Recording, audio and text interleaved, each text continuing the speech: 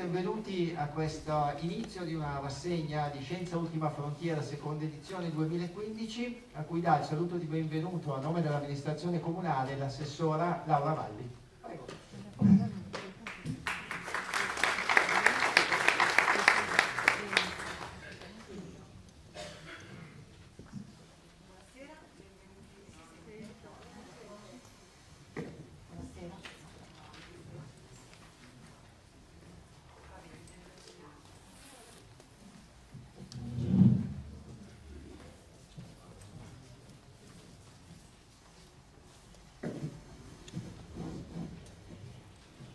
Buonasera, benvenuti e benvenute a questa prima serata della seconda edizione di Scienza Frontiera.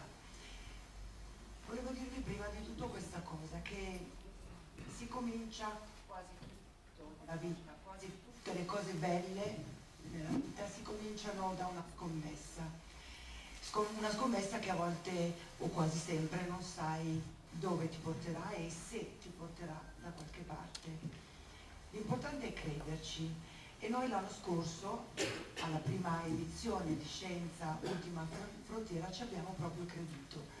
Ehm, ci abbiamo creduto anche perché avevamo, passatemi il termine, le spalle coperte da una fantastica madrina che è presente in sala devo un po' sgridarla perché non mi tiene compagnia qui al banco, dove insomma parlare a un pubblico non è per me facilissimo, una madrina dicevo veramente eh, disponibile, appassionata, schietta, eh, alla mano, mi sento di dire questa cosa di, della nostra concittadina Elena non si sente, ecco.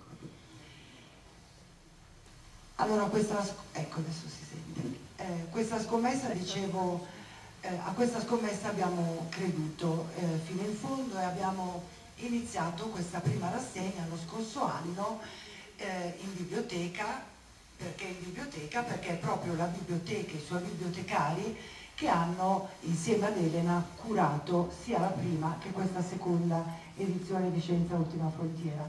Davvero l'anno scorso non ci si stava, tanta era la partecipazione di pubblico. E dicevo, la disponibilità di, di Elena ci ha fatto capire però una cosa molto importante, ci ha fatto capire che il mondo scientifico sente forte il bisogno di dialogare e di comunicare con noi, con noi cittadini, noi non addetti ai lavori.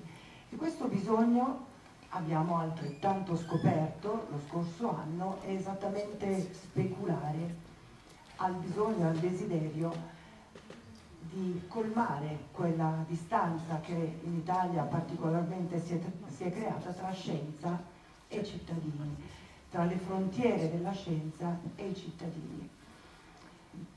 Insieme appunto a Elena e ai nostri bibliotecari abbiamo allora scommesso sulla scienza, ma soprattutto su questa sua disponibilità, questa sua capacità di rendersi accessibile ai non addetti ai lavori. È stato, come dicevo prima, un successo straordinario di pubblico di partecipazione, di voglia di capire e anche, perché no, di dissentire. Ti ricordi Elena? Non si poteva quindi che rispondere a questa fame, a questo digiuno forzato con la seconda edizione di Scienza Ultima Frontiera dedicata al tema dell'inizio che inauguriamo questa sera con Pietro Greco che ci parlerà della nascita della scienza e cioè di quel particolare tipo di conoscenza che interroga il mondo per interpretarne la grammatica, la lingua segreta. Ecco, la vostra presenza così numerosa in uno spazio ancora più grande di quello dell'anno scorso è segno che il percorso iniziato l'anno scorso è una scommessa sulla quale valeva la pena di investire. Significa che allora è davvero possibile cominciare a ricucire quello scollamento tra le frontiere della ricerca scientifica e la comunità civile. Sono quindi orgogliosa ma soprattutto felice di presentare questa seconda edizione di Scienza Ultima Frontiera che porta nel cuore di questa città e della stessa Brianza cinque incontri di altissimo livello, ma, e la scommessa sta proprio in questo, alla portata di tutti e di tutte, o almeno di tutti coloro che sono appassionati di scienza, che hanno voglia di capirla e che hanno voglia di interrogarla. Ringrazio quindi con grandissima stima e grandissimo affetto Elena Cattaneo che ha incoraggiato e concretamente, quotidianamente aiutato i nostri bibliotecari a realizzare questa iniziativa. Ringrazio tutti i relatori a partire da Pietro Greco e i prossimi che avremo la fortuna di vedere su questo, su questo palco e che hanno accettato di portare a Brugherio la loro competenza e la disposizione davvero davvero speciale di parlare al pubblico. Ringrazio ovviamente, ma lo sottolineo ancora una volta perché non basta mai, i nostri bibliotecari e la biblioteca che hanno saputo continuare un impegno che, che non nasce da oggi, neanche dall'anno scorso, è un, è un impegno concreto, quotidiano, di anni, a farsi il polo di riferimento per la fame di scienza dei cittadini. E ringrazio voi che siete qui questa sera e tutti coloro che in vario modo e a vario titolo hanno espresso apprezzamento per questa rassegna e ci hanno chiesto una continuazione ancora più ricca ed estesa. Quest'anno sono infatti cinque gli incontri, mentre l'anno scorso erano tre. Concludo quindi a voi tutti affamati di scienza augurando una buona serata e soprattutto buon appetito. Buonasera. Grazie. Un ringraziamento anche all'assessora che ha ovviamente permesso che tutto questo succeda. Allora, questa sera iniziamo, iniziamo col voto, come si suol dire, nel senso che cominciamo con una domanda di grande interesse, cioè come è nata la scienza. Qualcuno potrebbe dire perché guardare all'indietro? Ormai la scienza è molto avanti. Perché tornare a quella prima volta quando lo sguardo dell'uomo ha interrogato il mondo chiedendogli di cosa sei fatto, in che lingua sei scritto, qual è l'alfabeto segreto che ci permetterà di interpretarti, di conoscerti, addirittura di prevedere quello che succederà. Beh, forse possiamo tornare indietro perché è vero che la scienza ha fatto tanti passi avanti, non ha scoperto tutto, ma forse abbiamo perso il gusto per le domande, abbiamo perso il gusto per quello che è lo stupore di fronte al mondo che abbiamo davanti, che è il più grande e il più bel libro che conosciamo. Quello stupore di cui parlava Kant, no? il cielo stellato sopra di me. E forse oggi noi ci accontentiamo delle risposte degli esperti e abbiamo perso di vista la curiosità, a volte anche ribelle, per conoscere il mondo e conoscerlo tutti. Conoscerlo tutti e capire la lingua in cui è scritto, che è la frase di Galileo con cui il nostro relatore inizierà questa sera. Purtroppo noi dobbiamo prendere atto di una situazione in Italia in cui la conoscenza della scienza è molto bassa. Facciamo un piccolo esperimento, voi vi faccio tre domande, voi non rispondete, però pensate a che risposta dareste. Non siamo a scuola? La prima domanda è questa, il Sole è un pianeta? Seconda domanda. Gli antibiotici uccidono virus e batteri? Terza domanda. Gli elettroni sono più grandi degli atomi? Non voglio sapere cosa avete risposto in cuore vostro. Vi do solo un dato, perché queste sono tre domande che un istituto di ricerca pone ogni due anni a un campione di italiani. E non vi do il dato disaggregato, ma solo una media. Diciamo che il 40% degli italiani ne sbaglia almeno una. Non vi dirò le risposte giuste, ovviamente. E allora noi siamo un po' in questa situazione in cui dobbiamo riconquistare, dobbiamo ritornare ad appassionarci tutti della scienza. Abbiamo preparato una bibliografia come bibliotecari perché la vostra fame si appaghi questa sera, ma poi continui, continui nella nostra biblioteca in cui possiate continuare a trovare libri, cd, eh, video, qualunque cosa, perché questa ricerca continui. È una questione, come diciamo nella bibliografia, di democrazia sostanziale, perché un paese in cui la scienza viene lasciata solo agli esperti è un paese che non sarà mai democratico. Per questo, molto umilmente, però abbiamo voluto dedicare la bibliografia a ricordo di Pazzi, a questa bibliotecaria, tutto sommato, dell'antica biblioteca di Alessandria, scienziata, matematica, venne uccisa, venne uccisa dal fanatismo di chi non voleva la diffusione della conoscenza. La biblioteca di Alessandria venne bruciata dallo stesso fanatismo. La scienza allora può diventare il baluardo contro il fanatismo, contro la superstizione e questo per noi è un, davvero una missione molto importante. Siamo in buone mani, siamo in buone mani nel senso che abbiamo un relatore di eccezione, anche se molto schivo, viene da Ischia, e se vi leggessi il suo curriculum passeremmo la sera. Sappiate che è un giornalista scientifico, uno scrittore, ha scritto molti libri, alcuni dei quali sono in vendita alla, in fondo alla sala, con la libreria Amico Libro. È uno dei soci fondatori della città della scienza di Napoli, ha condotto trasmissioni radiofoniche, televisive, ha vinto premi, riconoscimenti, tiene una media di due conferenze al giorno non sappiamo ancora perché abbia accettato di venire a Brugherio, ma siamo riusciti a intercettarlo tra alcuni impegni a Milano e domani a Genova al Festival della Scienza. Per cui non gli tolgo altro spazio, do volentieri la parola e lo ringrazio profondamente di essere qua stasera.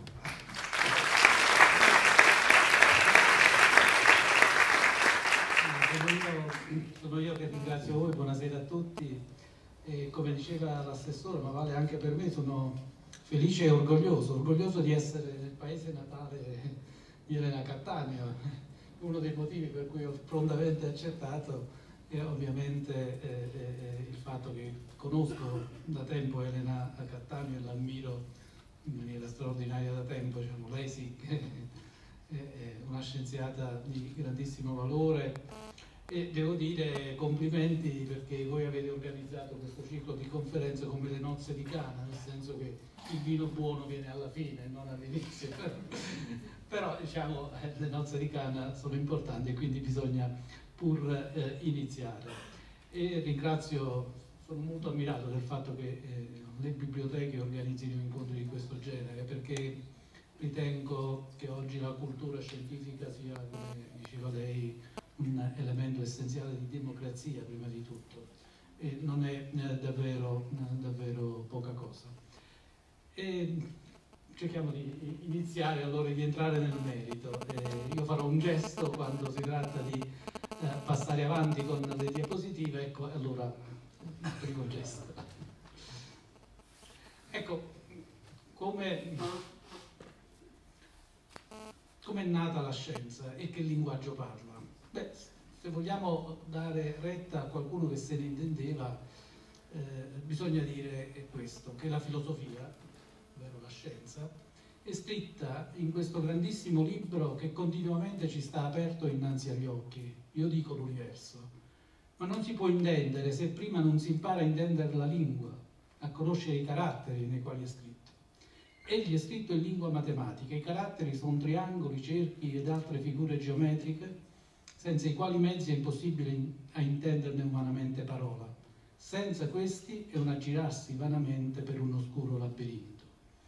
Ecco dunque che Galileo nel saggiatore ci dice che la lingua della scienza è, è la matematica, anzi in particolare eh, la geometria. Ora, proprio un caso, ma quest'anno cadono i cent'anni della teoria della relatività generale, teoria con la quale Albert Einstein, giovane che aveva allora eh, 36 anni, ha trasformato in qualche modo la gravità in geometria, ha geometrizzato, come dicono i fisici, eh, la gravità, eh, interpretando alla lettera le parole di Galileo Galilei. Davvero ci ha restituito un universo che è fatto di geometria, un universo che parla eh, in termini con parole eh, geometriche. Bene, il luogo e la data di nascita della scienza si può fare, è un gioco ovviamente, perché la scienza è un processo. Come tutti i processi è difficile eh, dire quando e dove eh, è iniziato.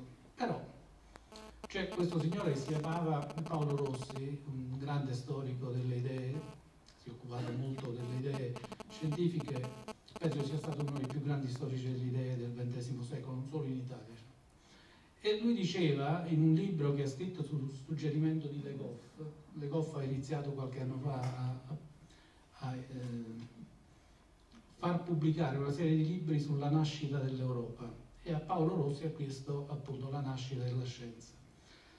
Allora Paolo Rossi diceva non c'è un luogo dove nasce la scienza moderna perché quel luogo è l'Europa intera. Quindi la scienza, secondo Paolo Rossi, non è nata a Firenze, a Padova, a Parigi, a Oxford, ma è nata in Europa. E questo è di un, un concetto straordinariamente profondo su cui cercherò di ritornare eh, alla, alla, fine. Però siccome io sono un giornalista e quindi i giornalisti cerco, tendo a semplificare eh, fin troppo le cose, dico forse non c'è un luogo di nascita definito, perché questo luogo è l'Europa, ma c'è una data di nascita. Questa data di nascita io la faccio coincidere con il 13 marzo del 1610, quando Galileo pubblica a, a, a Venezia il Siderius Nuncius. Questo libro rappresenta qualcosa che Ernst Cassirer, un grande filosofo e storico della filosofia, ha definito un libro spartiacque. Si può dividere la storia dell'umanità, o meglio la storia culturale dell'umanità, in prima e dopo il Siderius, il Siderius Nuncius. E in realtà siamo nel Seicento, in realtà la rivoluzione scientifica del Seicento è quella che noi, o almeno molti di noi, considerano l'inizio della scienza. Questo è Newton che alla fine eh, del, di quello stesso secolo ha unificato la fisica terrestre e la fisica celeste ancora una volta matematica alla mano, l'ha racchiusa in una formula. Questa straordinaria formula che ci rappresenta eh, la gravità eh, di, quella, di cui poi si è occupato Einstein con un'altra formula, anche quella debitrice in qualche modo agli italiani, Vabbè, ma mm, ci ritorneremo forse. Cioè. E quindi la domanda è questa. Certamente nel Seicento con personaggi che l'hanno aperto il secolo come eh, Isaac Newton e lo hanno, eh, come Galileo Galilei l'hanno chiuso come Isaac, con personaggi come Isaac Newton è stato un secolo davvero, davvero importante. E tuttavia, no, un precedente, una, ecco, e tuttavia ci si potrebbe chiedere, io me lo chiedo, cioè, non, io non ho risposte, prima si parlava di domande, preferisco fare domande diciamo, piuttosto che dare risposte. E quando nasce la scienza, ovvero quando nasce l'attitudine dell'uomo a cercare di dare una spiegazione razionale al mondo in cui vive? Qualcuno potrebbe dire, so che la prossima volta verrà Telmo Pievani, questa è una domanda che potremmo rivolgere a lui, e, per esempio potrebbe essere nata all'incirca 40.000 anni fa, quando più o meno in tutto il mondo eh, gli uomini cominciarono a dipingere, dimostrando di possedere un pensiero razionale astratto, di darsi una spiegazione del mondo, di cercare una spiegazione del mondo. Ora si dà il caso che proprio in quello stesso periodo, quando comincia a dipingere, comincia anche a parlare con il nostro eh, modo di parlare molto articolato e molto importante, quindi con una, non solo con una grammatica, ma con una sintassi estremamente complessa, che forse nessun'altra specie umana e certamente non umana ha. Ecco, allora uno potrebbe dire, ecco quando è nata la scienza, quando l'uomo ha acquisito questa capacità di dare ordine al caos nel quale vive. E però qualcuno potrebbe obiettare, sì, ma quella non era eh, effettivamente scienza. Allora si potrebbe dire, beh, diamo retta a, a, a, a, Galileo. La scienza è nata quando l'uomo ha cominciato a dare ordine alle cose non solo in terra ma anche del, del cielo. Per esempio quando gli egizi e i babilonesi, per parlare soltanto di più vicini a noi, ma in quegli stessi periodi anche in Asia, nell'Asia più orientale, si facevano cose analoghe e non a caso perché probabilmente c'era una diffusione della cultura che era transcontinentale, ebbene, qualcuno potrebbe dire è nato quando gli egizi e i babilonesi, i cinesi e gli indiani hanno cominciato a osservare, a scrutare il cielo e a dare ordine alle cose del cielo. È nata l'astronomia in qualche modo, eh, che oggi, ancora oggi è una scienza, no? qualcuno potrebbe dire eh, sì, forse più che l'astronomia e per dar retta ancora di più a Galileo è quando è nata la matematica. E sempre gli stessi egizi e babilonesi hanno iniziato, sempre intorno a 5.000 anni fa, ad avere una matematica abbastanza sofisticata. Eh, per esempio, sapevano calcolare, questo lo faccio con un minimo di conflitti di interesse perché eh, sono molto legato a un numero che è pi greco, che poi diciamo, sarei, ad esempio che mi perseguita da un po'. Bene, loro non lo chiamavano pi greco, ma sapevano che pi greco è una costante e sapevano che questa costante è il rapporto tra il diametro e la circonferenza di un cerchio. E l'avevano calcolato con una certa precisione. I primi tre numeri, diciamo tutto sommato, li avevano eh, eh, eh, indovinati del pi greco, insomma lo potevano calcolare. Non solo, ma avevano un metodo per calcolare, un metodo di tipo scientifico. E qual era questo metodo? Non voglio addentrarmi ancora una volta eh, in troppi particolari, ma il merito era di mettere a confronto un poligono regolare, quindi avevano il concetto di poligono regolare e una circonferenza. E quindi sapevano calcolare il perimetro di un poligono regolare, perché era facile da regolare, e dicevano il cerchio, se il cerchio iscrive il il poligono regolare, la circonferenza è un po' maggiore del perimetro, se invece non è, è il cerchio che è iscritto nel poligono, il perimetro del poligono è un po' maggiore e quindi cominciavano a ragionare in questi termini. Ancora, potremmo chiederci ancora, come fanno molti, se eh, la scienza non sia nata con i filosofi greci con quella che è stata definita la scoperta della ragione, cioè la scoperta della potenza della ragione, la scoperta ancora avanti che eh, possiamo dire ci ha restituito un, una nuova immagine del mondo. E, e in che cosa era, consisteva questa immagine del mondo? Secondo me in tre grandi categorie. La prima è quella che abbracciate dai filosofi, i primi filosofi greci, Talete, Anassimandro e quant'altro. Beh, il primo è che l'universo è un cosmos, cioè un tutto armoniosamente ordinato. Non è scontato, diciamo dirlo. Eh, significa che appunto viviamo in un ambiente cosmico eh, appunto che, che, è ordinato. E non solo, che questa ordine, questa armonia cosmica è espressione di una intima unità. Eh, non ci sono differenze.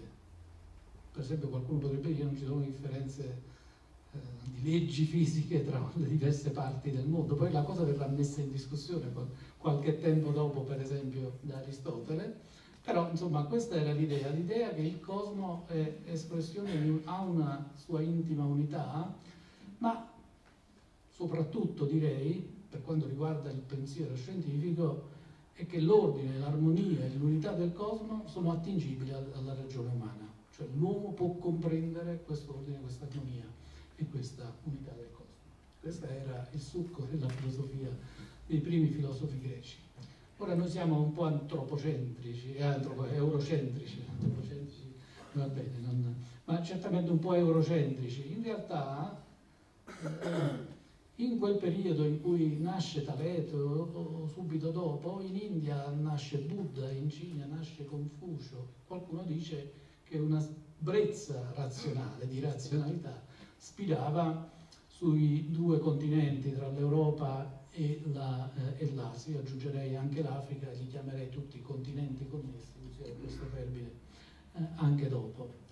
È perché queste comunità culturali e non solo culturali, erano in connessione fra loro, non sono forse casuali queste nascite, rappresentano probabilmente un modello di diffusione della cultura, su cui magari ritorneremo fra poco. Avanti. Bene, però qualcuno dice questa è filosofia razionale, c'è la scoperta della ragione, ma non siamo ancora scienza. Noi oggi la scienza intendiamo qualcosa di diverso. Bene, allora io vi dico quello che ha scritto uh, Lucio Russo. Lucio Russo è un uh, fisico di origine che però trovava poco rigorosa la fisica per cui è diventato un matematico e poi è andato alle radici della matematica e ha studiato la matematica dei primi grandissimi matematici che ancora oggi studiamo e di cui farò uh, il nome fra, fra poco. la scienza ellenistica in particolare. Ebbene, allora Lucio Russo ha cercato di definire che cos'è la scienza.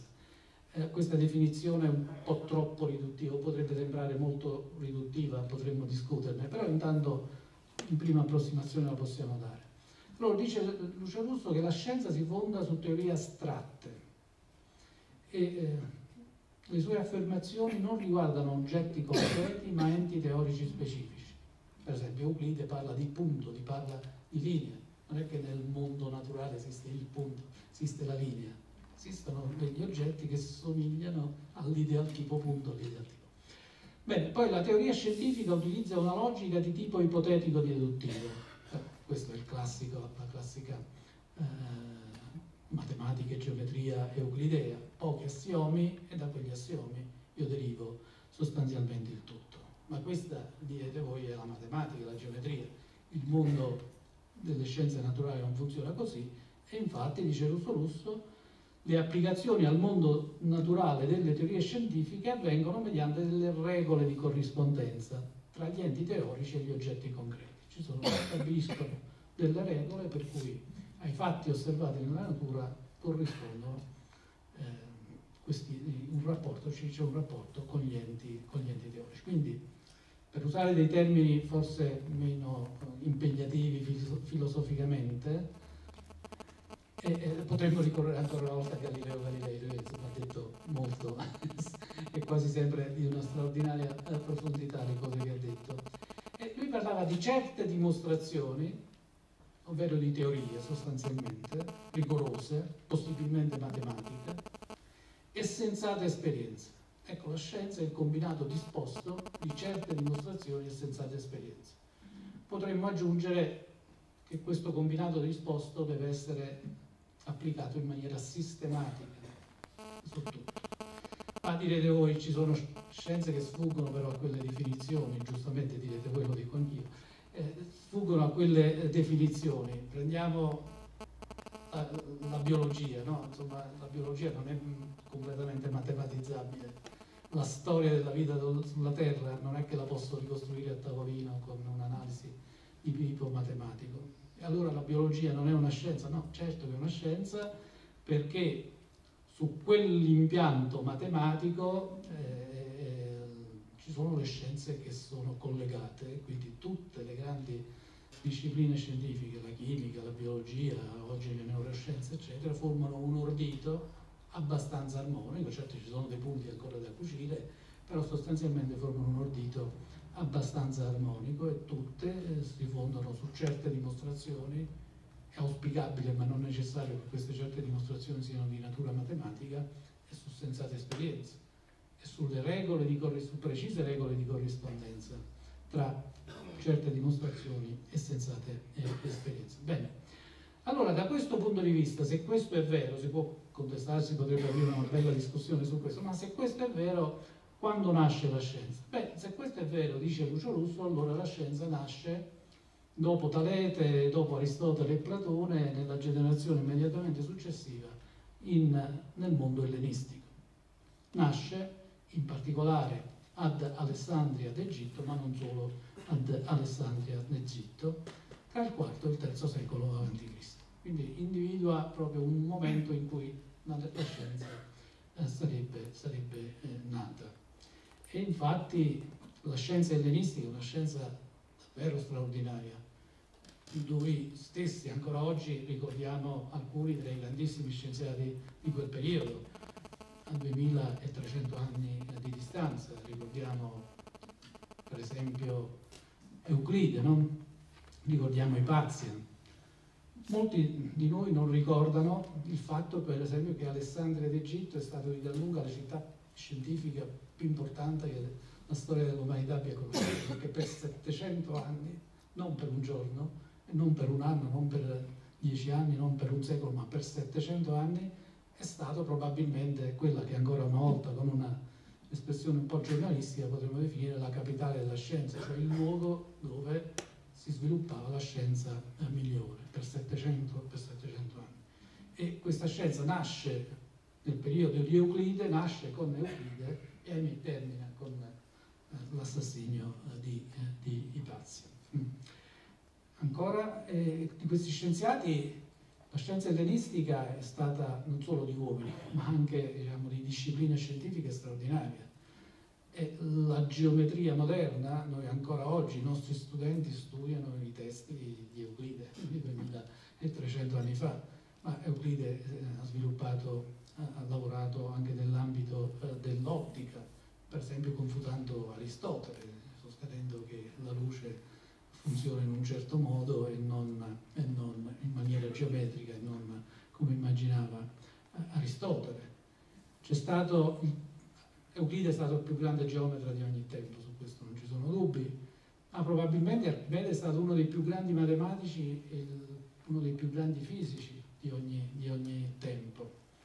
Quindi personaggio straordinario. Ma questi li conosciamo tutti.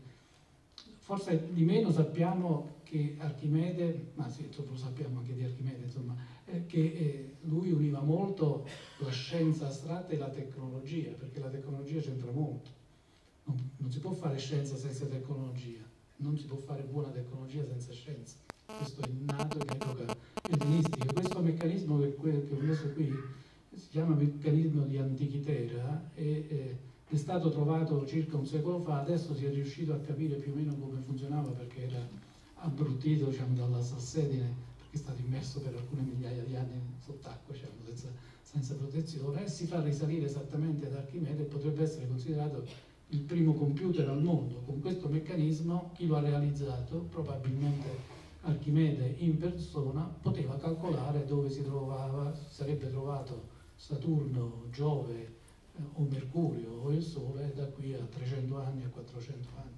Cioè, aveva una capacità di calcolo considerata davvero eh, eh straordinaria.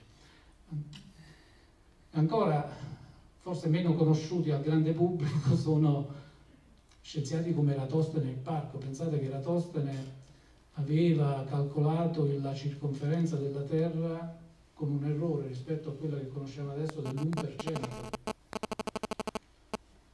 E eh, Ipparco non solo aveva creato una mappa del cielo a occhio nudo, aveva collocato perfettamente nel cielo con degli strumenti scientifici apposta, costruiti apposta, aveva collocato circa 1040 stelle ed è stata la mappa più completa che si sia avuta al mondo fino alla scoperta del telescopio sostanzialmente.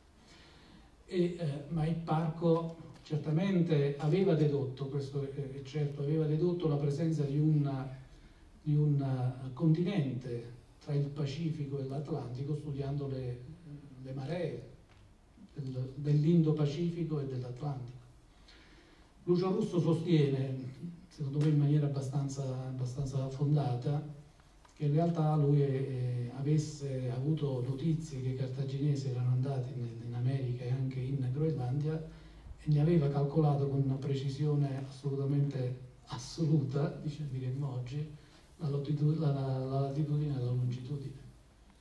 Se, sembrerebbero cose, diciamo, eh, eppure eh, Lucio Russo ha scritto un bel libro che si chiama La due bei libri, uno si chiama La scienza dimenticata di cui parleremo tra poco, ma un altro L'America dimenticata perché ehm, dopo questi calcoli di Parco sarebbe stata dimenticata questa, questa, questa, scoperta. Lui non era stato in America, ma aveva calcolato con precisione come, dove stava.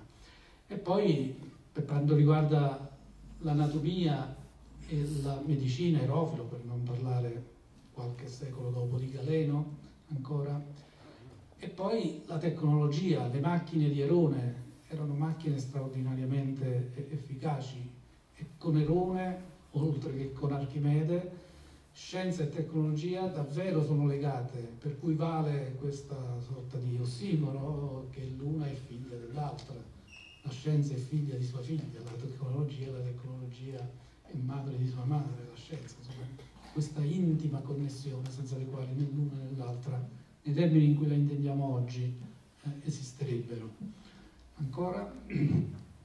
ecco, vi dicevo di questo libro di Lucio Russo, La rivoluzione dimenticata, perché con la conquista romana eh, del Mediterraneo la scienza, in larghe parti del Mediterraneo, mh, viene dimenticata e a Roma sostanzialmente non, non arriva. E questo è un bel dilemma della storia perché Roma è stata certamente una grande civiltà, promotrice di una grande cultura, la cultura giuridica romana è ancora oggi la nostra cultura, diciamo, quindi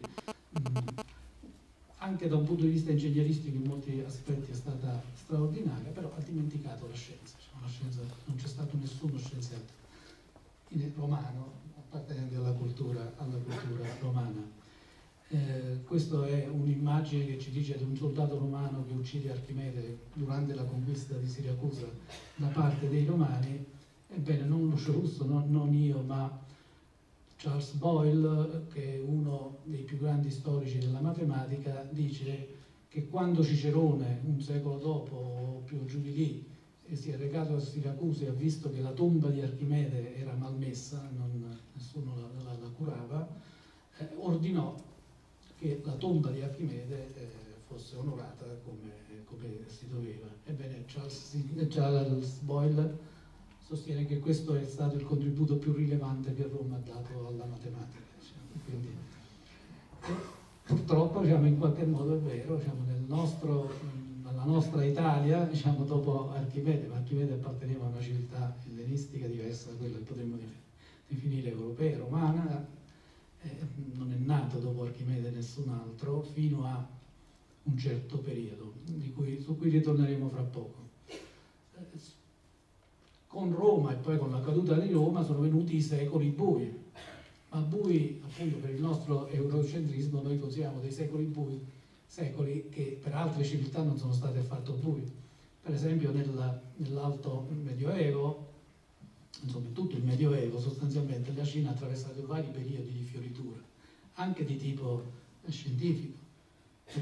Per, ritornare al pi greco, diciamo che questo numero mio amico, eh, eh, un, cinese con il metodo di Archimede, applicando il metodo di Archimede che conosceva, a riprova di un modello di diffusione della cultura, eh, cioè le idee circolavano nei tre continenti connessi in maniera abbastanza ha calcolato il pi greco fino alla nona cifra decimale, cosa che noi siamo riusciti a fare soltanto alla fine del 600.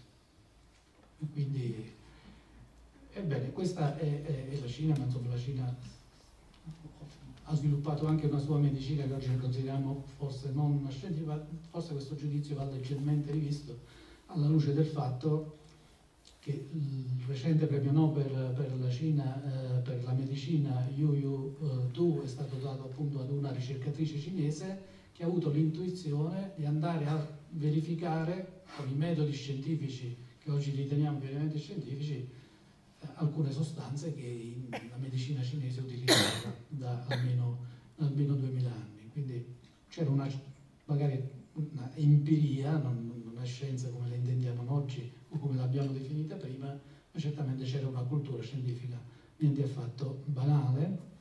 Poi c'è l'India e noi oggi utilizziamo i numeri eh, messi a punto nel 400 d.C. In, in, India con la numerazione eh, posizionale. Questa numerazione posizionale è stata poi acquisita dagli arabi ed è arrivata a noi 800 anni dopo nel 1202, quando finalmente nel nostro continente è nato il primo scienziato creativo. Si chiamava Leonardo Pisano, detto il Fibonacci. 1202, scrive il Liber Abaci.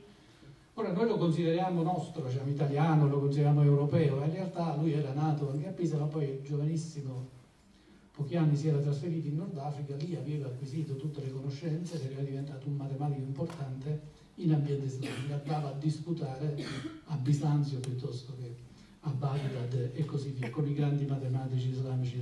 Poi ritornò in Italia e scrisse alcuni libri sono, in cui c'era matematica creativa, nuova matematica, nuova conoscenza matematica.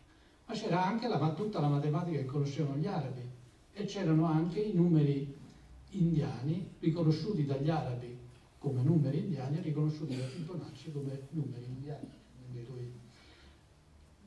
E in quello stesso abbiamo accennato all'Islam, ecco, l'Islam ha fatto delle operazioni davvero straordinarie, davvero importanti anche per noi, anche per la scienza moderna, perché adesso insomma, non cercherò di non andare troppo per le lunghe, ma eh, l'Islam nei primi due secoli, due o tre secoli, cui è nato, ha fatto un'operazione straordinaria, ha tradotto tutto quello che c'era di importante nell'ambito della filosofia e della scienza ellenistica, lo ha tradotto prima in siriano e poi in, in arabo, prima a Damasco e poi eh, a Baghdad.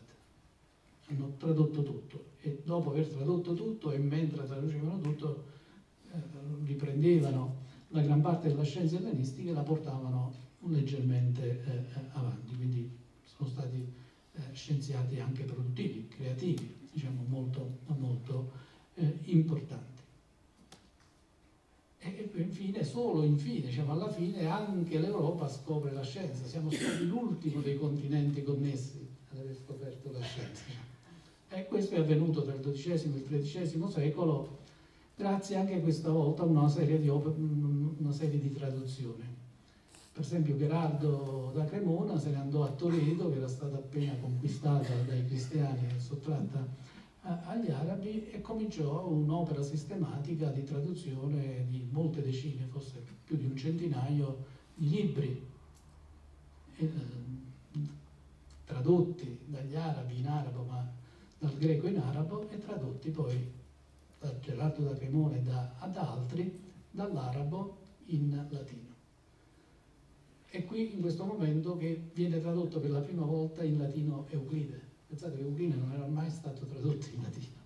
Il primo a tradurlo diciamo, è 1500 anni dopo eh, eh, eh, Gerardo da. In realtà c'era stata un'altra traduzione, prima a Palermo, infatti le grandi traduzioni di, Palermo, di, di, di Toledo sono state affiancate alle grandi traduzioni che sono state operate a Palermo. Palermo è una città con una cultura islamica molto sviluppata, è una città molto ricca e molto popolosa e, e quando fu conquistata dai Normanni, Ruggero II eh, fece quello che si stava facendo anche in, in Spagna, cominciò a tradurre. Quindi, e dopo Ruggero II, il nipote, ancora, questo è la mappa del mondo, scusa, può tornare un po' indietro? La mappa del mondo è stata realizzata da un geografo arabo alla corte di Ruggero II e ci dà appunto la rappresentazione del mondo conosciuto dagli arabi.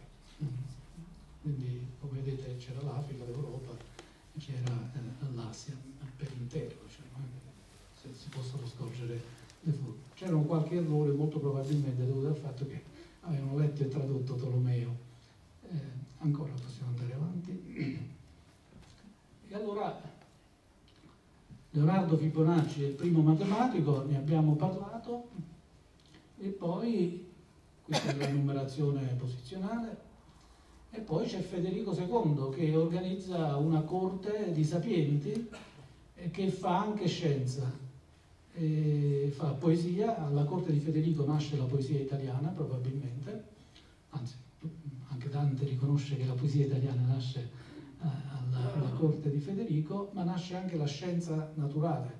E Federico II in persona lo può essere considerato con un minimo di forzatura, o forse no, il primo scienziato naturale europeo lui eh, ha scritto questo libro De Arte Venandi, che sembrerebbe essere una cosa eh, marginale, diciamo, l'arte di fare caccia, la caccia, ma lo fa come lo farebbe uno scienziato moderno, magari con qualche crudeltà in meno, non lo diciamo agli animalisti, altrimenti si arrabbiano molto. Ma lui cosa fa? Innanzitutto si legge tutta la letteratura esistente sul mondo degli uccelli e sulla loro ecologia e sulla loro etologia e poi comincia un piano sistematico di sperimentazione. Alcune di queste sperimentazioni sono particolarmente crudeli per, vedere, per dimostrare che i falchi sentono il cibo o lo vedono e lui acceca dei falchi e verifica se questi sono in grado di procacciarsi il cibo. No, è un po' crudele, anzi decisamente crudele, ma lo spirito era di tipo sperimentale. Bene, Qualcuno sostiene che l'Europa nasce proprio in questi secoli, tra l'undicesimo e il tredicesimo secolo nasce l'Europa. E come nasce? E nasce appunto con la cultura. L'Europa non è un luogo geografico, da un punto di vista geografico l'Europa è una, una piccola appendice dell'Eurasia, ma nasce come luogo culturale. E, quali sono la cultura europea che nasce quella cultura che comincia a svilupparsi intorno alle tradizioni di Aristotele, quindi della filosofia, ma anche della scienza ellenistica tradotta dagli arabi, eccetera, eccetera. Perché nasce? Perché per tanti motivi nasce una grande civiltà urbana europea, le, le prime grandi città, e nelle città c'è un'organizzazione e dell'economia e della cultura, le due cose sono molto spesso intrecciate, quindi grazie a questa nuova civiltà urbana nasce la cultura e nasce anche la cultura scientifica. Dove nasce? Nasce nelle università, che nascono non a caso, siamo esattamente, almeno in Europa, in quel periodo, perché le università preesistevano a Baghdad, ad Alessandria, in Cina, in India e così via. Ma in Europa nascono sostanzialmente in quel periodo, possiamo ricordare la scuola medica di Salerno, la prima università, Bologna, Parigi, Oxford e così via. In realtà nasce una rete di università in tutta Europa, una vera e propria rete. Nelle università europee si parlava la stessa lingua, il latino, esattamente come nel mondo arabo si parlava la stessa lingua, l'arabo, i curricula erano esattamente gli stessi, si insegnavano le stesse materie, studenti si muovevano da ogni parte d'Europa per andare in ciascuna di queste università e così anche i docenti si muovevano in ogni C'era una vera e propria rete universitaria che magari faremmo bene Elena Cattaneo a promuovere anche oggi. Ricreiamo questa rete universitaria europea, oltre che nazionale, perché questa è forse la forza della nostra, della nostra eh, eh, cultura.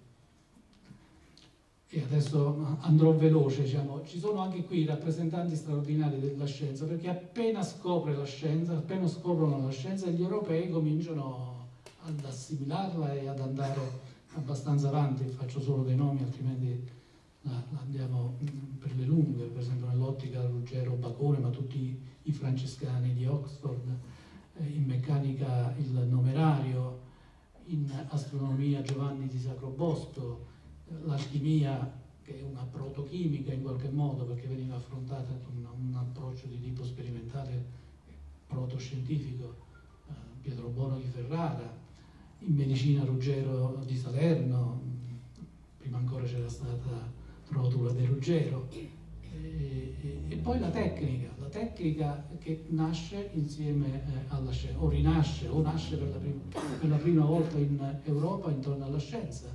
C'è qualcuno che teorizza questo rapporto, per esempio Ruggero Bacone nei suoi libri teorizza questo rapporto, cioè della intima, in, dell'importanza di quelli che una volta venivano chiamati i vili meccanici, e no, insomma, altro che vili, diciamo, perché la tecnica è qualcosa di importante di vivifico. Ma la scienza è un collante culturale. Se noi possiamo leggere, probabilmente, non sono un filosofo e men che meno un teologo, ma possiamo leggere il dibattito teologico che attraversa il 200 e l'inizio del 300 come un grande dibattito intorno alla filosofia, in particolare alla filosofia naturale tre, le tre grandi scuole teologiche, quella del Sigieri di Brabante, di Bonaventura di Bagnoregio, di Alberto Magno e Tommaso d'Aquino, sono altrettante scuole teologiche che cercano di confrontarsi, di misurarsi non solo con la filosofia di Aristotele, ma anche con la scienza giunta finalmente in eh, Europa. Ma c'è di più, diciamo, eh, questo è una magari sbaglierò, però Dante rappresenta davvero un punto straordinariamente importante della, della scienza europea che diventa cultura, che va al di là del proprio mondo. Perché Dante che, che cosa fa? Dante è il poeta della scienza, perché tutta la scienza del suo tempo la mette nella Divina Commedia. La Divina Commedia è un libro di divulgazione scientifica lui fa di più, fa anche dei veri e propri esperimenti, ma non, non, non vorrei ricordare. Il secondo canto del paradiso è un canto in cui ci sono ipotesi scientifiche e, e veri e propri esperimenti mentali. Bene, ma lui fa di più. In un altro libro, Il convivio, teorizza l'importanza del mestiere che faccio io, diciamo, nel senso del comunicatore, del divulgatore di scienza. Lui dice la cultura è qualcosa che eh, eleva la spiritualità dell'uomo, ma gli dà anche diciamo, delle opportunità di tipo pratico. Purtroppo non tutti possono sedersi al tavolo dove si spezza il pane degli angeli, dove, dove si produce conoscenza. Molte persone devono stare ai margini di questo tavolo. Alcune lo fanno per ignaria perché non vogliono, anche potendo, non, non hanno interesse, su questi c'è poco da fare. Ma altri lo fanno perché sono poveri, non, appartengono a classi sociali che non possono permettersi di, di far studiare i propri figli, eccetera, eccetera. E beh, queste persone hanno intelligenza e hanno diritto alla conoscenza e quindi c'è bisogno di persone come me, dice Dante, eh, di comunicatori che non sono scienziati, ma c'è bisogno che raccolgano le briciole le distribuiscano in modo che la conoscenza diventi un fattore di inclusione sociale, diremmo con parole nostre, e non di esclusione sociale. Beh, questa è democrazia scientifica, diciamo, eh, eh, allo, stato, allo stato puro. Bene, eh, quindi teorico della comunicazione e della scienza, ma soprattutto teorico della democrazia della conoscenza, che è il grande tema dei nostri, dei nostri giorni. E eh, fermiamoci, sì, sì, no, no, fermiamoci qui.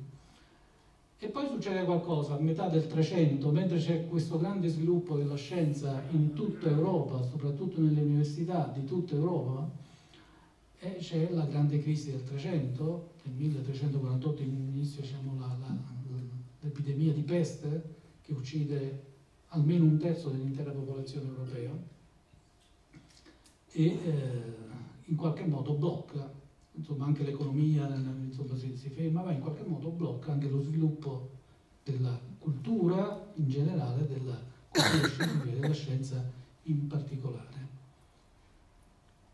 Eh, no, indietro, indietro scusi. Ecco, eh, io in questo grafico ho cercato di riportare eh, i nomi che vengono riassunti in un, in un, grande libro di storia della scienza con date di nascita e date di morte di queste, di queste persone. Come vedete c'è una cesura netta a metà, della, a metà di, questa, di, questo grafico. Tra il mille, nessun grande scienziato nominato in, quest, in questi libri muore dopo il 1350 o prima del 1450 tra il 1350 e il 1450 c'è una vera e propria cesura. E questo significa effettivamente la scienza è come se fosse bloccata, la conoscenza in Europa è come se fosse bloccata riprende quando la vita in Europa riprende eh, come prima Avanti. e riprende con il uh, del Rinascimento. Anche qui sarebbe bello passare altre due o tre ore a parlare del Rinascimento perché eh, è un periodo davvero, davvero eh, straordinario. Il Rinascimento è un rinascimento non solo dell'umanesimo, per carità, diciamo, ma è il rinascimento perché è un rinascimento scientifico, perché rinasce effettivamente la scienza, solo che questa volta non rinasce in una rete di università sparse per l'Europa, ma rinasce stavolta in un luogo particolare, di una città particolare. Il luogo particolare sono le botteghe degli artisti e degli artigiani e la città è Firenze. Anche qui, facendo dei calcoli diciamo, abbastanza rozzi, grezzi, si può dimostrare che all'inizio del 400 il 70-80% delle persone di cultura scientifica lavoravano a Firenze, di tutta Europa, lavoravano a Firenze. E chi sono a scoprire di nuovo la matematica, a scoprire la scienza? sono appunto gli artisti ingegneri, sono Brunelleschi eh, che costruisce la, quella straordinaria cupola che è quella del Duomo di Firenze, quindi architettura fondata sulla matematica e sulla capacità, sulla prospettiva che eh, precorre la geometria proiettiva, ancora la geometria.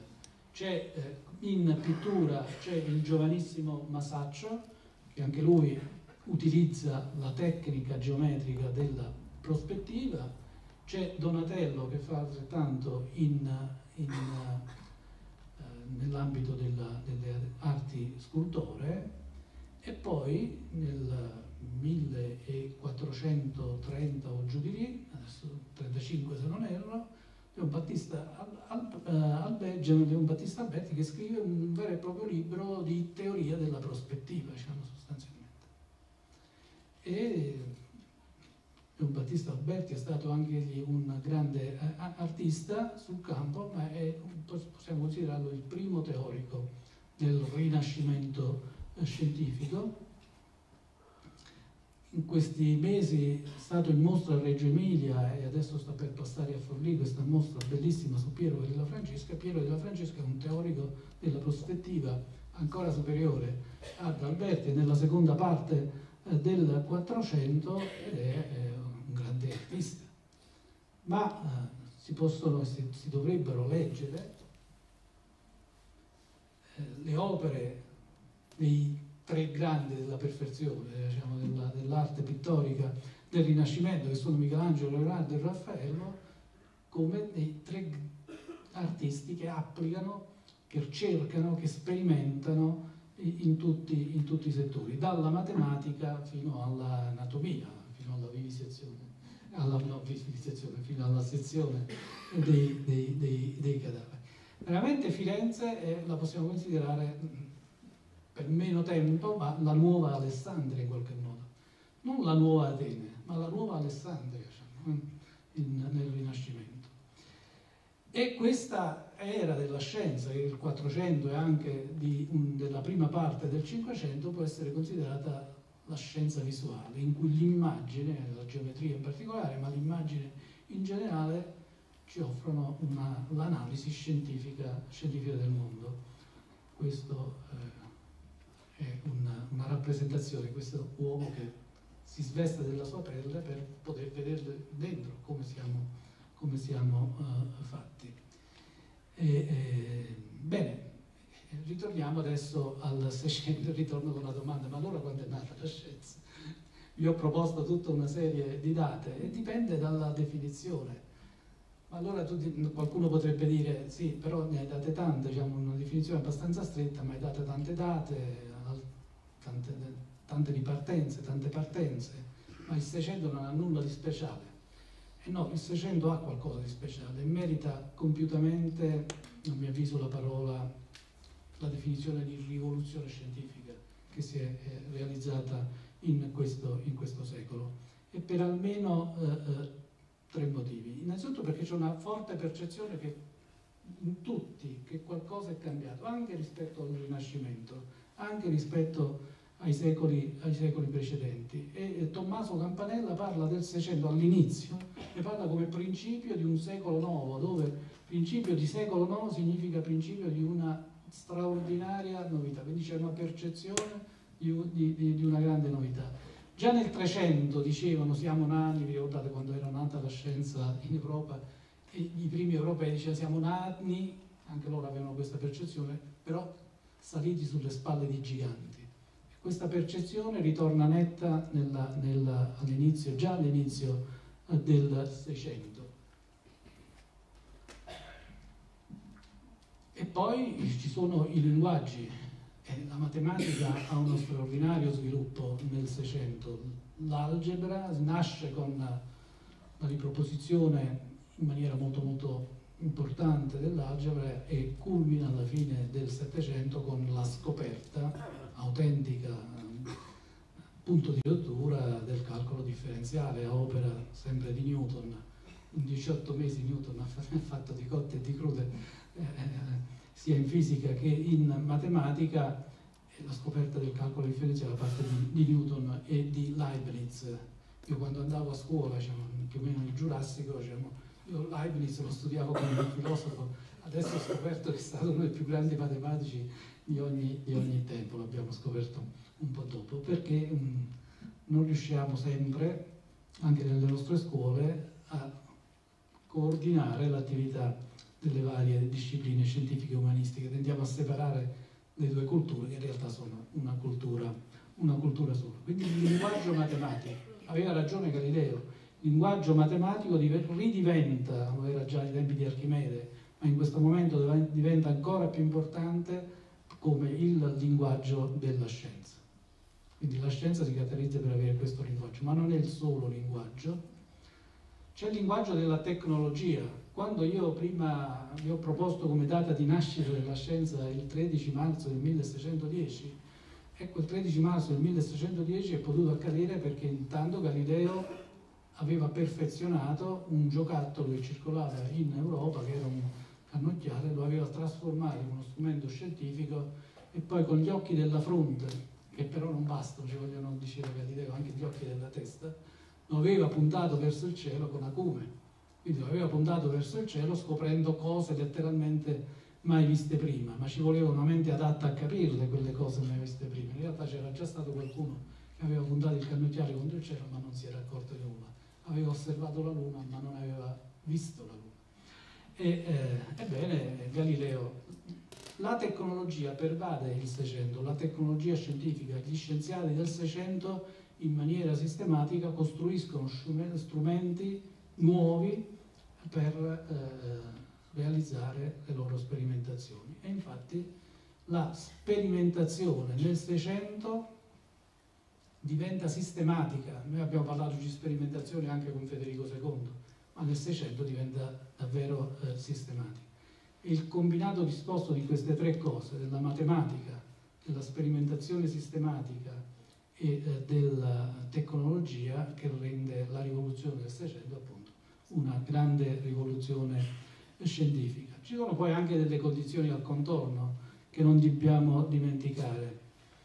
E purtroppo diciamo, la crisi italiana, che è una crisi economica, l'Italia che aveva dominato nel Rinascimento perché dominava economicamente l'Europa eh, si trova in una contingenza economica eh, nuova, inaspettata, perché l'asse economico dell'Europa e del mondo si sposta verso il nord Europa, in Francia, in Olanda, in, in Inghilterra e non a caso che l'asse scientifico dall'Italia poi si sposta verso verso l'Olanda e l'Inghilterra, se facendo sempre quel gioco che abbiamo fatto prima di mettere date di nascita di molti degli scienziati su un grafico, scopriremmo che il numero di italiani si impoverisce e il numero degli inglesi cresce. Cresce molto anche perché la gran parte degli storici che hanno fatto queste cose sono inglesi, eh? diciamo. però si nota una crescita notevole anche degli scienziati olandesi, degli scienziati francesi, eccetera, eccetera. Quindi è qualcosa eh, che avviene eh, realmente. E infatti da Galileo si passa poi a Newton, diciamo, eh, non si fa statistica con due persone, però è una, è una indicazione. Bene, vorrei chiudere perché penso di, aver mm, sottratto, di avervi sottratto già moltissimo tempo con un'altra suggestione. Questa sì è una suggestione. Abbiamo visto che quindi la scienza nasce, è un processo che, che dura da parecchio, che però ha avuto delle svolte che sono delle, almeno delle rinascenze e la più grande certamente è stata quella del Seicento, paragonabile, l'unica paragonabile forse quella del IV e III secolo a.C. ad Alessandria. Ma c'è un'altra, un'altra cosa, il rapporto tra l'Europa e la scienza. La scienza, abbiamo visto, nasce prima dell'Europa, ma possiamo chiederci se la scienza favorisce la nascita dell'Europa. Se l'Europa nasce, non dico solamente grazie alla scienza, ma anche grazie alla scienza, anche grazie alla conoscenza scientifica, anche grazie alla conoscenza scientifica che diventa il collante culturale del continente, uno dei, dei più importanti collanti culturali del continente. Nelle università, certo, europee del 300, del 200 e del 300 si studia la teologia, si studia la giurisprudenza, studia la filosofia, ma si, si, fanno, si studiano anche le scienze naturali. Le scienze naturali sono, hanno un linguaggio molto più comune di quanto non abbiano probabilmente la teologia, la giurisprudenza e la stessa filosofia, perché è un linguaggio tendenzialmente universale. E quindi forse è stato uno dei collanti culturali più importanti, quello che ha portato alla nascita dell'Europa come soggetto culturale. Adesso viviamo in una crisi dell'Europa e allora c'è da chiedersi se questa crisi non sia anche una crisi del rapporto tra l'Europa e la scienza. Qui c'è una rappresentanza una cartina geografica che ci dimostra come l'Europa sia piuttosto piccola rispetto agli altri due continenti connessi, Asia e Africa. Eh, qui cerco di dimostrarvi, di ricordare appunto come all'origine di questo rapporto ci sono state le grandi traduzioni, traduzioni che avvengono proprio mentre sta nascendo l'Europa, sta nascendo un'entità culturale che si autoriconosce come sostanzialmente unitaria. E allora vorrei sottoporre alla vostra attenzione tre punti e poi chiudo davvero. Allora, la prima, l'Europa è nata meno di un millennio fa, quando la scienza era già nata, ma ha incontrato la scienza e, eh, sia pur timidamente, ha cominciato a produrre nuova conoscenza scientifica e questo è un fatto. La seconda è che l'Europa ha avuto un rapido sviluppo a partire dal 600 e dopo il 600, nel 700 nell'Ottocento e nella prima parte, primissime parte del Novecento ha avuto una leadership mondiale che era economica, che era culturale, ahimè era anche eh, militare, però certamente lo ha avuto. E questo ha coinciso con lo straordinario sviluppo della scienza. Possiamo dire, forse senza tirare troppo la storia per i capelli, che questa leadership europea sul mondo, di questo piccolo e marginale espressione geografica che è invece esercitato sul mondo intero sia dovuto anche e forse soprattutto alla scienza e alla tecnologia ovviamente che è stata prodotta grazie ad un approccio di tipo scientifico. Ancora? Ebbene, quando è iniziato il suo declino eh, l'Europa e quando probabilmente è entrata in conflitto con la modernità e quando ha cominciato a smantellare la sua straordinaria struttura scientifica. Fino al 1930 l'Europa aveva il monopolio pressoché assoluto della, della, della, della scienza. Quasi il 95% dei finanziamenti mondiali e degli scienziati di tutto il mondo erano europei.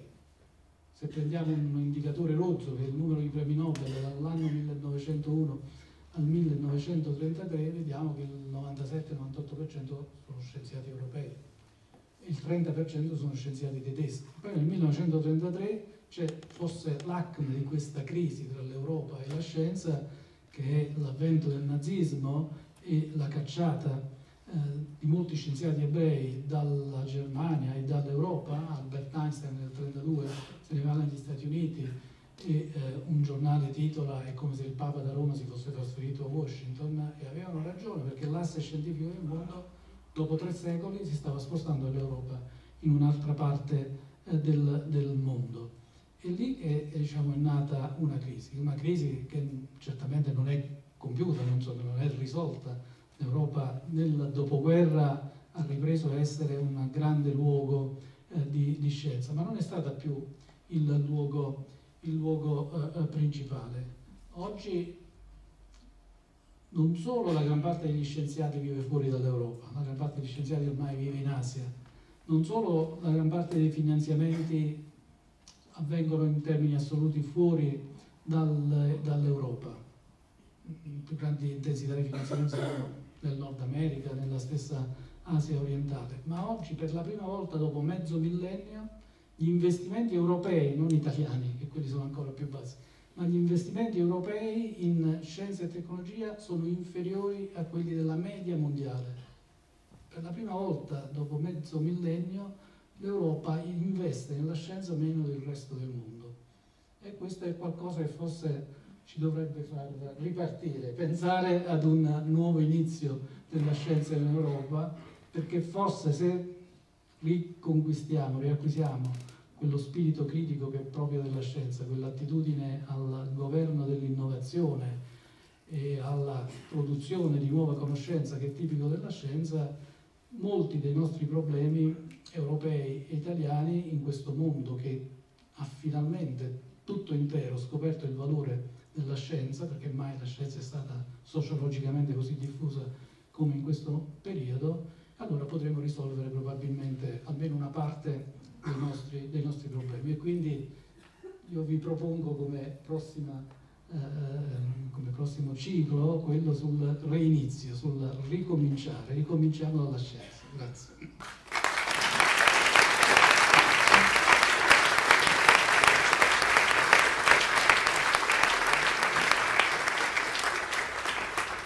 Ringraziamo Pietro Greco, ci ha fatto fare un, in un'oretta un viaggio di parecchi secoli e ci ha portati poi nel cuore dell'attualità e dei problemi che abbiamo da affrontare adesso e nel futuro, quindi ci ha riportato dall'inizio al nuovo inizio, è stato veramente straordinario. Adesso gli abbiamo chiesto la disponibilità di rispondere ad alcune domande del pubblico. Vi preghiamo di segnalare chi voglia fare un intervento, preghiamo ovviamente di essere brevi nella formulazione delle domande per dare possibilità a più persone di intervenire. Nel frattempo facciamo bere un po' d'acqua. No, no, adesso sono a posto.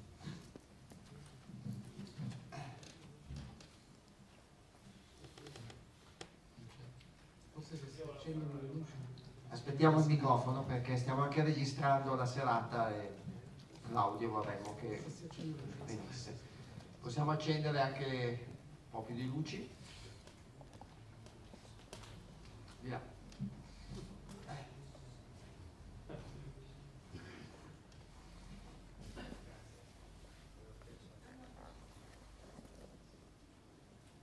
Ah.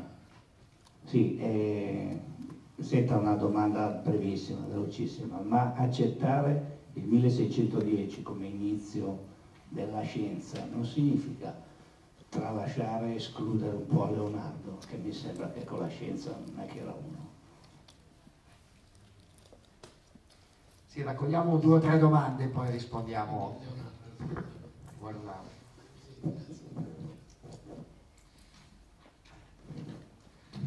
Tra l'altro approfitto per ricordare che in questi giorni in biblioteca abbiamo un facsimile del Codex Atlanticus, volume primo in visione.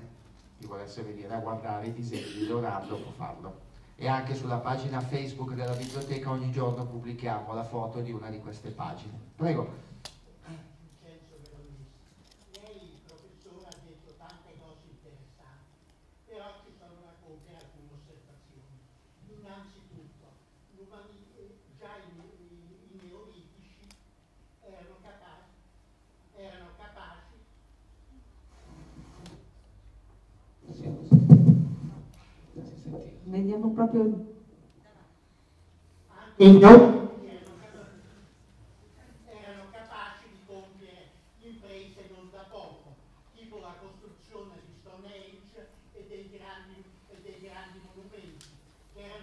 imprese sia scientifiche per calcolare le tristi, sia tecnologiche perché bisognava portare pietre di 50-60 tonnellate, che non è uno scherzo.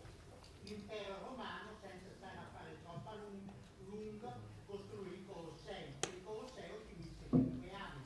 Noi oggi vediamo il Colosseo, la pietra, quello che rimane, ma dietro il Colosseo stava tutta la- l'avanzamento, la pianificazione del lavoro, tutta la parte di intelligenza, di intelligenza, come del resto con le piramidi.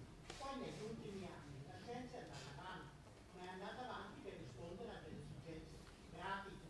Quando l'Inghilterra aveva l'impero, fece fare dei passi enormi alla telefonia e alla telegrafia, perché bisognava collegarsi con le lontane colonie.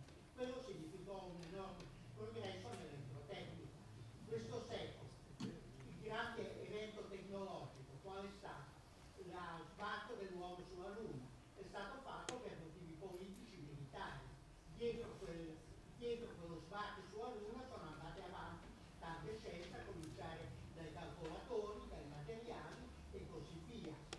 L'energia nucleare. L'energia nucleare a suo tempo per l'Italia significava una buona posizione nel settore della metallurgia. Tanti materiali oggi dimenticati a loro importavano i come. Ok, grazie. Tanto verifichiamo il microfono. Altre domande? Ne raccogliamo un'altra, poi lasciamo la risposta al professor Greco.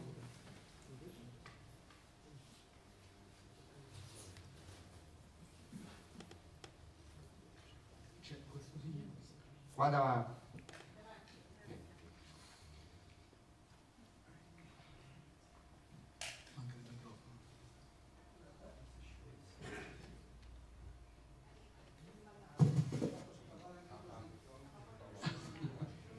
tecnologia non sempre.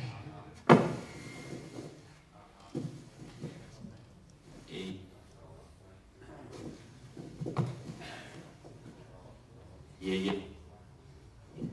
Ora sì, ora no.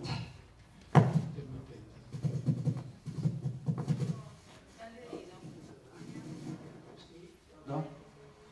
Funziona? Sì. Sembra di sì. Prego. Eh,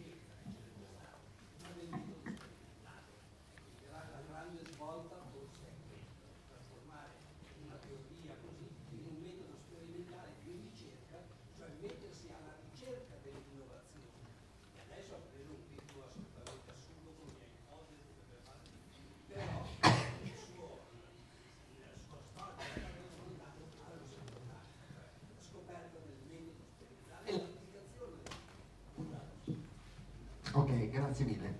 Prego a lei la parola. Sì, sono domande molto impegnative. È lungi da me pensare che Leonardo non sia stato un genio assoluto, però dobbiamo metterci d'accordo diciamo, sulle definizioni, perché altrimenti parliamo di cose diverse. Se parliamo di scienza così come l'abbiamo descritta, potremmo anche contestare, e qualcuno di voi lo fa, e quindi potremmo però se accettiamo quella definizione di scienza così come vi ho detto ci aveva dato il nostro amico Lucio Russo, e, e, allora Leonardo è stato certamente un grandissimo artista, è stato certamente un grandissimo artista che ha avuto anche un forte approccio scientifico, ma non è stato capace di quelle teorizzazioni, di quella sperimentazione sistematica volta alla produzione di nuova conoscenza di tipo scientifico che eh, rientra in quell'ambito. Quindi è stato un proto-scienziato straordinario, un artista immenso, diciamo, però diciamo, non possiamo considerarlo alla stregua di Galileo o di Newton, questa è, è, la cosa. Dopodiché quando dicevo il 13 marzo 1610 è uno scherzo, diciamo, no? è chiaro, ho cercato di, di, di, argomentare sul fatto che la scienza è un processo e indicare un giorno addirittura per la nascita però quel giorno è indicativo perché effettivamente in quel momento, grazie a quella scoperta, alla pubblicazione di quelle scoperte, eh c'è una nuova immagine del mondo che, che, è straordinariamente importante. Appunto, come vi ricordavo, il Cassirer lo considera addirittura un libro spartiacque, perché il modo di vedere il mondo è completamente, eh, è completamente cambiato. E, eh, I neolitici, beh, io ho cominciato ancora prima, con i paleolitici, eh, vi ho fatto vedere diciamo, l'arte rupestre 40.000 anni fa, molto prima dei, dei neolitici. E quindi certo, diciamo, dipende dalla definizione che noi diamo di scienza.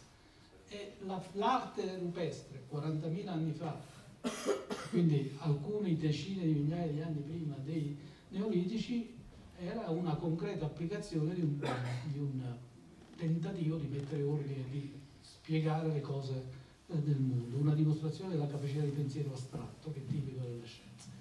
Basta per definirlo scienza? Mettiamoci d'accordo.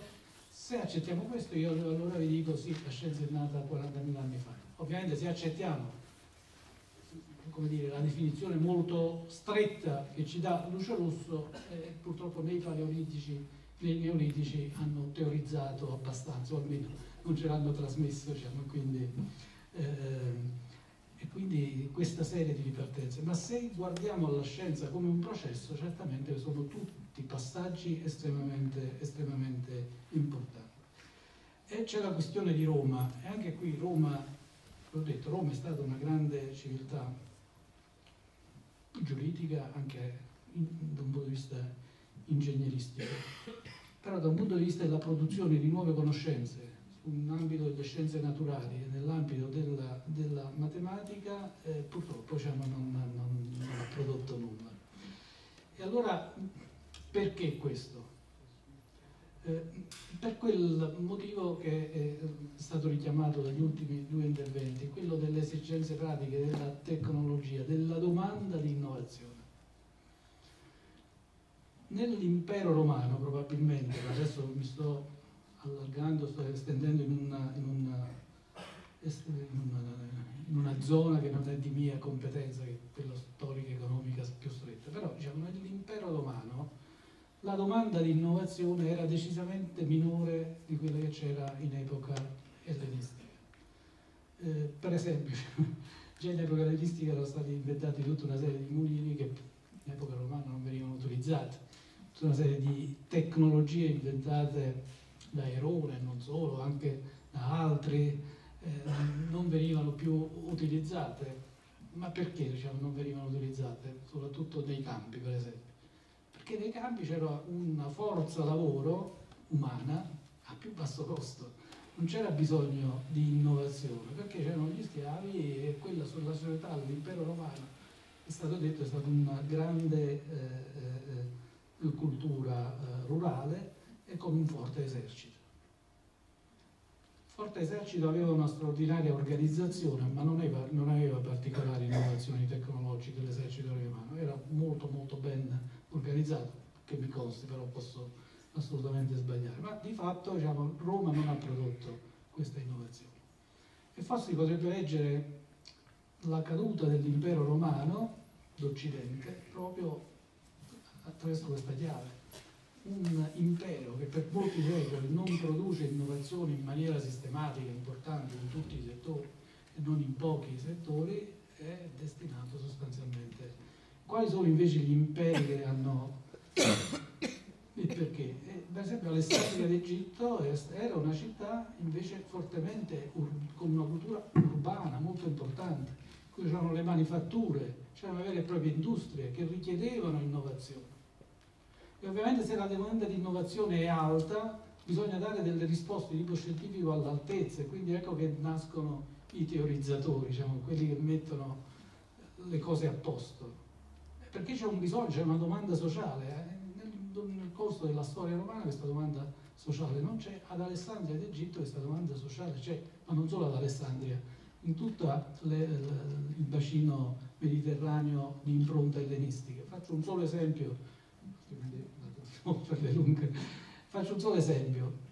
Eh, c'era, eh, era un mondo conflittuale anche politicamente. A un certo punto i Tolomei, eh, quelli che governavano l'Egitto, quindi Alessandria, decisero di, avevano il monopolio, del, quasi il monopolio del, del papiro, la, la, la, il materiale dove si scriveva e a un certo punto imposero il blocco del, di, questo, di queste esportazioni e quindi a Pergamo eh, non, avevano più il papiro dove scrivere. Pergamo era un'altra città dove si faceva alta cultura e alta cultura scientifica.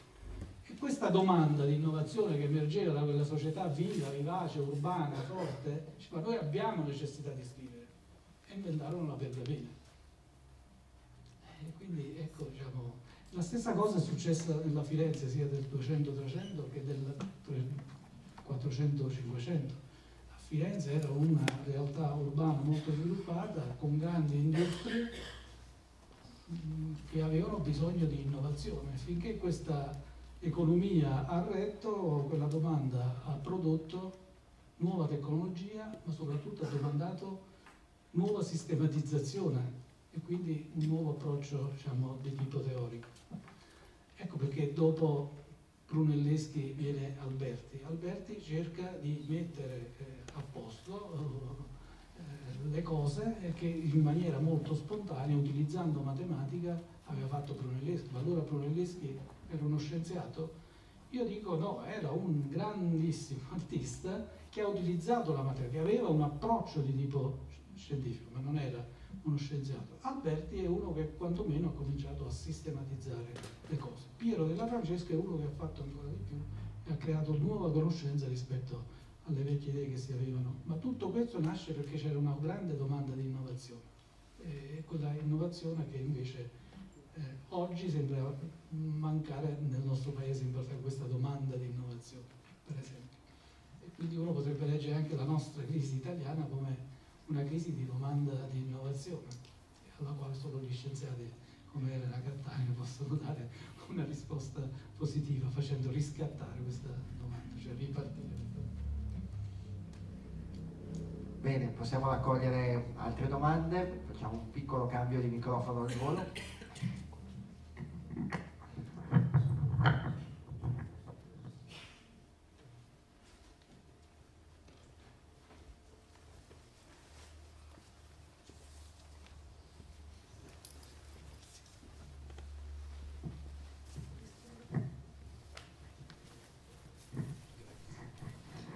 Sì, buonasera.